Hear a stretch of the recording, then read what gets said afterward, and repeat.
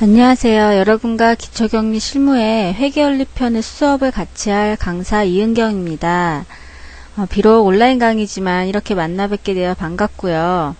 앞으로 진행하게 될 기초격리 실무 수업은 어, 회계 공부를 처음 시작하시는 분들을 대상으로 해서 회계의 전반적인 흐름과 용어 해설, 회계 처리 등에 대한 그 회계 원리에 관련된 내용들을 공부하게 될 것인데요.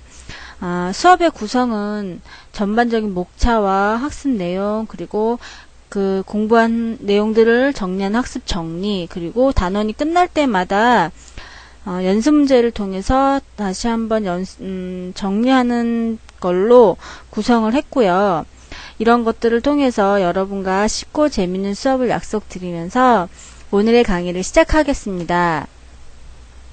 자, 오늘은 어, 회계의 기초의 첫 번째 시간인데요. 회계의 기본 개념에 대해서 공부를 해보도록 하겠습니다. 그래서 회계의 정의와 또 부기와 회계의 차이는 무엇인지 또 단식부기와 복식부기도 보이고요. 재무회계와 관리회계 그리고 또 여러 회계의 용어의 정리에 대해서 공부하도록 하겠습니다. 그래서 이번 장은 전반적인 기본 개념에 대한 내용을 파악하는 것을 중점으로 해서 공부를 하도록 하겠습니다. 자, 그러면 먼저 회계의 기본 개념에서 회계의 정의에 대해서 한번 살펴보겠는데요. 자, 회계는 가장 좁은 의미로서는 기업의 가계부를 쓰는 것이라고 생각하시면 이해가 쉽겠습니다. 자, 넓은 의미로서의 회계는 회계 정보 이용자가 합리적인 판단이나 의사 결정을 할 수 있도록 기업 실체에 관한 유용한 경제적 정보를 식별, 측정, 전달하는 과정이라고 할 수 있는데요. 자, 다시 한번 사, 살펴보면, 자, 정보 이용자가 기업에 대한, 어, 서 합리적인 의사 결정을 할 수 있도록 기업에 관한 재무적 정보를 어, 식별 측정하여 전달하는 과정을 회계라고 할 수 있겠습니다. 쉽게 말해서 회계는 그 회계 정보의 이용 측면을 강조하는 것입니다. 기업의 가계부를 작성하여 이를 근거로 투자 의사 결정이나 재무 의사 결정을 할 수 있도록 하는 일련의 과정이라고 말할 수 있는데요. 자, 그림으로서 한번 살펴보면 어, 기업에서 이제 거래 등의 경제적 사건을 재무적 정보를 통해서 표로 작성을 합니다. 수많은 거래 사건들을 제, 표로서 재무제표라고 하는데요. 재무제표로 작성을 하면 이렇게 작성된 재무제표를 통해서 수많은 이해관계자, 정보 이용자들이 어, 이것들 이용하여서 합리적인 의사결정을 하게 되는 것인데요. 여기서 말하는 정보 이용자는 저 여기 밑에 나와 있죠.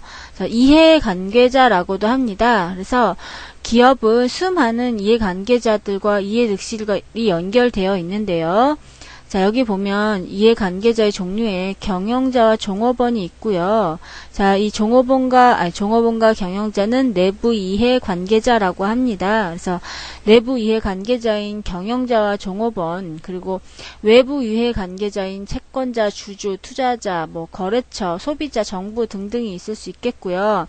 이런 수많은 이해 관계자들이 각각의 이용 목적을 위해, 합리적인 의사 결정을 위해 정보를 이용하게 됩니다. 그래서 경영자는 음, 본인이 책임지고 있는 회사의 한 해 경영 실적이 어떻게 되는지 또 뭐 돈을 빌려줘야 하는 채권자 입장에서는 내가 이 회사에 돈을 빌려줬을 때 회수가 가능한지 언제쯤 회수가 할 수 있을지에 대한 것들을 판단할 때 음, 회계, 정부, 재무제표 등을 이용하게 되는 것입니다. 그래서 회계는 이런 모든 것들, 거래에 관련된 모든 것들을 모든 기업 활동을 기록하고 정리해서 경영자뿐만 아니라 모든 이해관계자들에게 이해관계자들의 의사결정에 도움을 주도록 하는 것이 회계다라고 정리할 수가 있겠습니다. 자, 그러면 부기와 회계의 차이에 대해서 한번 살펴보겠는데요. 자, 부기는 회계의 일부분으로서 재산의 증감을 기록하고 계산하는 기술적 절차입니다. 자, 어, 여기 살펴보면 자 여기 있죠? 장부 기입해서 이 부기는 장부 기입의 준말인데요.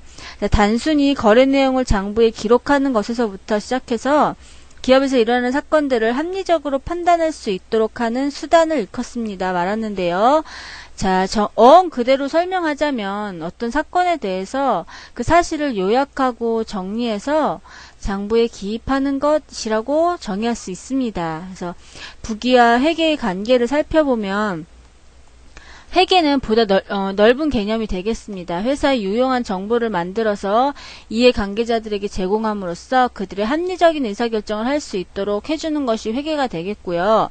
자, 부기가 실무적 측면에서 좀 요약 정리 기록하는 실무적인 절차가 된다면 이런 것들의 이론적인 체계를 더한 것이 회계가 되겠습니다. 그래서 부기보다는 회계가 조금 더 음, 범위가 크다고 할 수 있겠죠. 그래서 이론적으로서 부기의 이론 체계를 더해서 이해관계자에게 유용한 정보를 제공하는 것이 회계가 되겠습니다. 그래서 다시 말해서 부기하고 회계는 전혀 별개의 개념이 아니라 회계의 개념 안에 회계의 개념 안에 부기가 포함되는 것이라고 할 수 있습니다. 부기는 회계의 일부분으로서 재산의 증감을 기록하고 계산하는 것은 기술적 절차인데 반해서 회계는 부기를 기초로 해서 기업 내외의 이해관계자들에게 정보를 제공하는 것을 회계라고 합니다. 그래서 이 그림을 잘 기억해 두시면 되겠고요.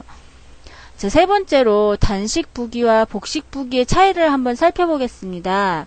단식 부기는 일정한 원리나 원칙이 없이 현금의 유입과 유출, 들어오고 나가는 것에 대한 것만 정, 장부에 기록하게 되는데요. 자, 대표적으로 이제 가계부가 있는데 이는 자 이런 가계부는 돈이 들어오고 들어오면 무조건 수입 나가면 지출로 처리하기 때문에 가계부의 잔액과 보유하고 있는 현금을 이렇게 맞춰가는 방법입니다. 그래서 어, 그 결과에 대해서도 현금의 수입과 지출 그리고 현금 잔액이라는 단순한 것만 알 수 있습니다. 내가 들어온 게 얼마고 쓴 게 얼마인지 그래서 남은 것이 얼마 있는지에 대해서만 단식 부기에서는 확인이 가능하지만 자 우리가 대부분이 기업에서 쓰이는 것이 복식 부기입니다. 단식 부기에 비해서 복식 부기는 객관적 원칙에 의해서 체계적으로 장부에 기록하는 것으로서 것이기 때문에 정확한 손익 계산이 가능하다는 장점을 가지는데요. 재산에 영향을 미치는 모든 거래를 파악합니다. 원인과 그 결과를 동시에 기록하는데요. 여기서 이제 중요한 개념이 하나 나옵니다. 대차 평균의 원리라고 해서 자, 다시 한번 살펴보면 토지를 샀을 때 복식부기에서는 토, 음, 토지의 구입과 현금의 지출을 동시에 기록합니다. 동시에. 그래서 현금을 지급한 원인과 결과가 모두 나타나기 때문 나타나는데요. 음, 현금에 지출된 이유가 현금이 지출된 이유가 토지를 샀기 때문에 모든 그 원인과 결과가 기록이 되는데 이처럼 복식부기는 돈이나 물건의 움직임, 그 결과를 항상 양면에 기록하기 때문에 모든 재산의 상태를 입체적으로 알 수가 있습니다. 그래서 자 여기 살펴보면 자 잠시만요. 자, 동시에 기록한다. 또 여기 나오죠? 동시에 기록한다. 양면에서, 아유, 양면에서 기록한다 라고 되어 있죠? 이런 것을, 이게 복식부기의 가장 중요한 개념인데요. 이런 것들이 복식부기를 가능하게 하는 것입니다. 그래서 이것들을 대차 평균 대차 평균의 원리라고 합니다. 동시에 양면 두 번 기록한다 등의 내용을 대차 복식 부기가 가능하게 하는 것이고요. 이것들은 이제 뒤에 자세히 설명하도록 하겠습니다.